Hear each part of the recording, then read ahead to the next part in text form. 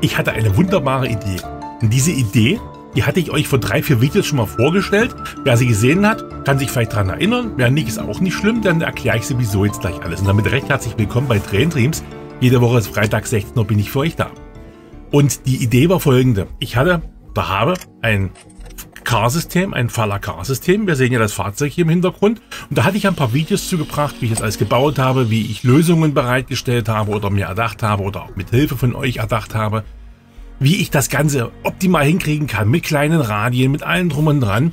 Und was mir noch gefehlt hat, also es fährt alles wunderbar, ich habe keine Probleme, es geht durch die engsten Radien durch, guckt euch gerne die Videos an, ich verlinke sie unterhalb dieses Videos und die Idee gehabt, dass ich doch ein Bremssystem mir entwickeln kann oder muss, müssen deswegen, da ich unter meiner Fahrbahn nichts anbringen kann. Das geht nicht, darunter ist haufenweise Elektronik und Elektrik verbaut. Aber trotzdem möchte ich gerne mein Fahrzeug anhalten lassen, stoppen lassen. Und zwar in dem Fall vor meinem Bahnhof. Und wir sehen es ja im Hintergrund schon. Vielleicht erinnert sich der eine oder andere dran, dass ich ja die Idee hatte, dass ich diesen Bus, der vor meinem Bahnhof stehen wird, das ist dieser Bus hier, der wird natürlich noch gealtert und bemalt, aber ist egal, dass ich diesen Bus nutzen möchte, um mein Fahrzeug an der richtigen Position zum Stehen zu bringen. Ja, da hatte ich ein bisschen rumgeknobelt und da habe ich mitten im Video die Idee gehabt, ja, vielleicht erinnert ihr euch dran, dass ich da einfach angefangen habe, irgendwas zu machen. Und äh, dass ich da gesagt habe, Mensch, man könnte doch in den Bus ein Magnet einbauen. Und das war alles ein bisschen wild und spekulativ und unausgereift, völlig ohne Gedanken. Aber genau so habe ich es jetzt gelöst. Wir sehen es schon. Der Bus wird von unten geöffnet, damit ich in diesem Bus von unten einen Magneten einführen kann. Kommen wir gleich hin. Erstmal wird das Ganze, wie gesagt, unten aufgeschnitten. Das habe ich alles vermessen, dass die Größe hinkommt, dass die Position nachher stimmt und dann eben entsprechend das Loch dann bemaßt. Das sieht man jetzt hier. Also ich habe mir überlegt, wo muss der Magnet sitzen am Anfang? Wo bleibt denn der LKW stehen? Wenn der immer ein bisschen ausbricht, dann liegt es einfach daran, dass ich ihn gerade nicht richtig auf die Spur setze. Beziehungsweise, dass er von dem Magnet, den ich daran halte, angezogen wird. Denn so ein Magnet wird das tatsächlich sein. Das ist ein Neodym-Magnet. Und ihr seht schon, dass ich die Schablone, die ich mir erdacht habe oder die ich mir ausgemessen habe, natürlich immer ein bisschen jetzt ausrichten muss. bisschen nach links, bisschen nach rechts, nach oben, nach unten, wie auch immer, so lange, bis das irgendwo passt habe mir aufgeschrieben, dass ich, ja, das ist der LKW, der mal sein Rad verliert, was ich neulich geschrieben hatte. Ist egal. Und ähm, habe ich mir dann ausgemessen, 15 mm, dann brauche ich 25 mm Spiel nach hinten. Und als ich dann jetzt die richtige Position gefunden habe, probiere ich das jetzt aus, indem ich den Magneten jetzt leicht nach hinten verschiebe. Ihr habt es gerade gesehen. Denn irgendwann fährt natürlich der LKW dann los, weil ich außerhalb des Riedkontaktes von dem LKW bin. Und ich habe es ja immer schon mal erwähnt in anderen Videos, aber ich muss ja auch an die denken, die eben nur dieses Video hier schauen, ja? Und habe das mir jetzt aufgezeichnet. Natürlich wurde das fixiert auf der Fahrbahn. Die Fahrbahn wird übrigens auch noch weiter gestaltet. Das kommt in einem der nächsten Videos. Und habe jetzt durch die Fahrbahn, durch die Platte, musste unterhalb natürlich schauen und ausmessen, dass da nicht gerade was verbaut ist. Wir werden es nachher noch sehen. Da ist unglaublich viele Bauelemente unten drunter, aber an dieser Stelle ist halt nichts. Das war nicht so gewollt, das war Zufall. Ich habe da so einen freien Platz damals gelassen, wo ich sagte, ah, da kann noch ein bisschen Elektronik für die Häuser hin, für die Gebäude, dass die ihre Lichtwechsel haben und so weiter und so fort. Und diesen Platz konnte ich jetzt zum Glück nutzen, dass ich dieses Loch da durchbohren konnte. Und ihr habt gerade gesehen, ich stelle den LKW, da, also den, den Bus da oben drüber und habe jetzt das aufgeklebt da auf diesen Bambusstab, das ist tatsächlich Bambus, habe drei Löcher mir gebohrt damit ich auch das Ganze in der Höhe ein bisschen verstellen kann. Und dann fixiere ich diese Bohrlöcher und auch oben stumpf am Holz immer mit Sekundenkleber, so dass wenn es nachher dann benutzt wird, dass das immer nicht irgendwann ausreißt und, und sich spaltet oder wie auch immer. Ich habe das noch nicht gehabt, aber immer mache ich ja immer so, ne? Deswegen vielleicht auch nicht. Dann brauchte ich eine Umlenkmöglichkeit. Da habe ich mich dann an mein 3D-Programm gesetzt, und habe mir da was erdacht, denke, na, das, so könnte es funktionieren, so eine kleine Halterung jetzt hier, da kommen Löcher an die Seite rein. Habe ich auch drei Löcher, wie man sieht, gemacht. Oder wie wir sehen, gemacht. Und damit ich auch flexibel bin, ja, also ich kann jetzt dieses Holz verstellen, ich kann es nach vorne, nach hinten, so dass ich später wirklich die optimale Position habe, damit ich das Ganze dann so einstellen kann, dass es auch optimal irgendwo alles funktioniert und dieser Magnet sich so bewegt, wie er tatsächlich soll. Das lässt sich alles mit Theorie und Praxis. Ich meine, das Witzige an der Sache ist, ich konnte tatsächlich bei beiden die mittleren Löcher nachher benutzen, so dass ich die anderen hätte mir komplett sparen können, ja, also was zum Einstellen war. Ich habe das so gut ausgemessen, Hm? Nee, Quatsch. Also, aber ich habe das doch so gut ausgemessen. Ich kann ja auch das beim, beim Festmachen unten auch noch ein bisschen bewegen. Und ihr seht schon, so ist tatsächlich die Funktion, dass ich von unten das nachher ansteuern kann und der Magnet oben sich entsprechend bewegt. Da guckt er schon raus nach unzähligen Tests. Ja, ich musste ja gucken, klappt das alles wirklich. Ich habe das natürlich schwarz gemalt, wie immer, damit, wenn der in dem Bus drin ist, auch nicht zu sehen ist.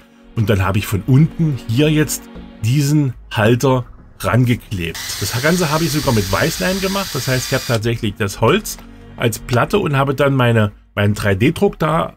Das ist das Beste, was du machen kannst. Also mir ist aufgefallen, das hält kein, kein Sekundenkleber, das hält kein Uhu sowieso, wie auch immer. Auf jeden Fall ist das für mich die beste Lösung irgendwo. Die nächste Lösung ist übrigens unten die Ansteuerung, was ich jetzt hier gerade mache. Das heißt, ich habe wieder mal ein kleines Hölzchen mir genommen und habe mir dann einen Kupferdraht zurechtgebogen der nachher dann da eingreifen oder reingreifen soll in die Löcher und habe mir den jetzt hier an dem Holz fixiert, so dass der schön fest ist. Habe das mit so einem Bindedraht da drumherum gewickelt. Das hat also sehr gut gehalten. Und mit dem Bindedraht, damit auch der sich nicht lösen kann, das ist alles Quatsch, da, da, da löst sich nichts, aber na, ich bin halt so, ne? Da habe ich da noch ein bisschen Sekundenkleber drauf gemacht, dann ist alles noch ein bisschen fester und alles noch ein bisschen, ne, für mich gedanklich zumindest sicherer irgendwo. Habe dann auf der anderen Seite auch noch drei Löcher reingebohrt und als Antrieb habe ich gewählt einen weichen Antrieb, die ich auch teilweise verwende. Teilweise habe ich ja durch Servos ersetzt. Mein Gedanke war ursprünglich hier ein Servo zu verwenden, habe auch die Servosteuerung, alles da. Aber die kann ich auch genauso gut auf der anderen Modellbahnhälfte, die jetzt hier irgendwann mal angefangen wird mit Bauen, auch verwenden. So überhaupt kein Ding. Sondern ich fand diesen weichen Antrieb einfach besser, weil ich auch gleichzeitig da meine Kontrolllichter ähm, drüber regeln kann. Das zeige ich euch übrigens in der nächsten Woche. In der nächsten Woche bringe ich euch nachher noch die Möglichkeiten, die ich habe in der, in der Elektrik oder auch Elektronik, wie auch immer man das gerade bezeichnen will, was ich da einsetze. Und ähm, das äh, kommt in der nächsten Woche noch mit rein. Das Video wäre sonst heute ein bisschen lang geworden. Und habe dann das entsprechend hier auch mit drei Löchern wieder, dass man es einstellen kann. Und als Stopper sieht man schon, habe ich so kleine Teile, das ist aus den Lüsterklemmen. Ja, da habe ich das Plastik entfernt und da habe ich mir dann diese kleinen Stopper, das mache ich übrigens schon lange so, das ist überhaupt kein Problem.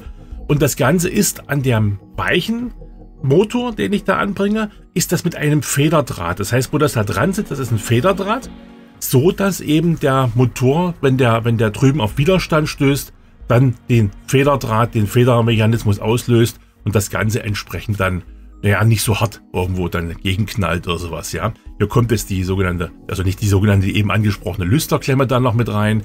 Ihr seht, ich habe da den, den, den Kupferdraht noch hängen, der als Achse dient, den ich jetzt gerade abkneife. Der wurde unten ein bisschen umgeboren, fertig, überhaupt kein Ding. Und jetzt sehen wir mal ganz kurz einen Schwenk zu den anderen Motoren, die weiter oben sind, die tatsächlich meine Weichen antreiben. Ihr seht, ich habe das genauso gelöst mit den Stäbchen, da sind das noch flache. Und auch äh, mit, mit Abstandshülsen, die ich da reingebaut habe und, und, und. Und alles auch hier mit Federdrähten. Also, das wollte ich bloß mal kurz zeigen, dass ich das da auch so gemacht habe. Also kein Neuland für mich. Und habe das dann entsprechend ähm, angebracht und ihr seht schon, es funktioniert ganz wunderprächtig. Dann brauchte ich eine Steuerung. Und zwar kommt die bei mir an das Modul, an die Kante vorne mit ran. Wir werden es gleich sehen. Das kommt also nicht aufs Stellpult, sondern alles, was auf den Hauptmodul aufgebracht ist, bleibt auch auf dem Hauptmodul, weil es wird ja lediglich das Hauptmodul mit einem 25-poligen Stecker versorgt. Das hatte ich euch schon mal gezeigt, werde ich aber irgendwann in der Übersicht nochmal alles erklären, alles nochmal zeigen habe mich jetzt entschieden, oder beziehungsweise hier suche ich noch raus, das war ursprünglich das, was ich machen wollte, mit einem Taster, dann eine LED, eine rot-grüne LED, die beide Farben kann. Habe aber durch diesen weichen Antrieb, den ich verwende, brauche ich zwei Taster. Da habe ich hier noch dieses Dingchen da, das habe ich mir damals auf dem 3D-Drucker ausgedruckt. Überhaupt kein Problem, da wird immer die LED hinten so reingesteckt. Das heißt, ich möchte die LED nicht sehen, die leuchtet dann einfach durch dieses weiße äh, Filament dann durch und dann kommen zwei Taster ran. Ich nehme immer weiße Taster, weil ich ja daneben, wer sich erinnert, auf meinem Stellpult oder auch auf, dem, auf der Blende vorne immer die farbwechselnden LEDs habe. Das heißt, ich sehe immer, ob das Signal oder die Weiche grün oder rot anzeigt oder gesperrt oder frei anzeigt. Und hier bleibe ich natürlich ähnlich. Da gibt es ja sogar die 1 und die 0.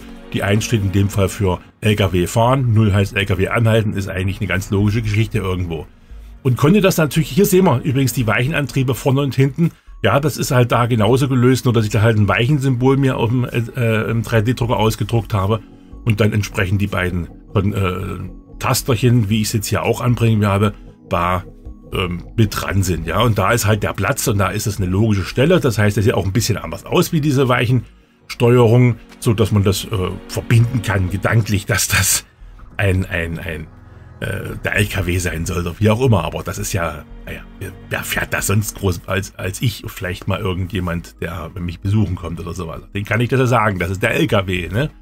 Oder ich kann auch mal was dran schreiben oder ein, ein Label dran drucken oder sowas. Ist ja egal.